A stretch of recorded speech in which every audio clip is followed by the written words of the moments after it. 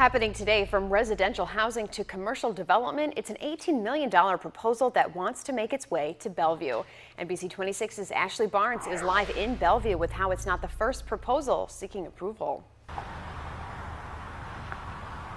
Holly, developers essentially throwing out their first plan when it comes to the land that I'm standing on right here. And you can take a look behind me. It's pretty empty, but that could all soon change if this new proposal goes through. Now, this plan is a part of an $18.2 million proposal. It would come with neighborhood and commercial districts. It will be presented this evening. It's the second developmental proposal for the area, and the mix would be of residential, assisted living, and commercial spaces. And that's a change from the first approved plan, focusing mostly on seniors.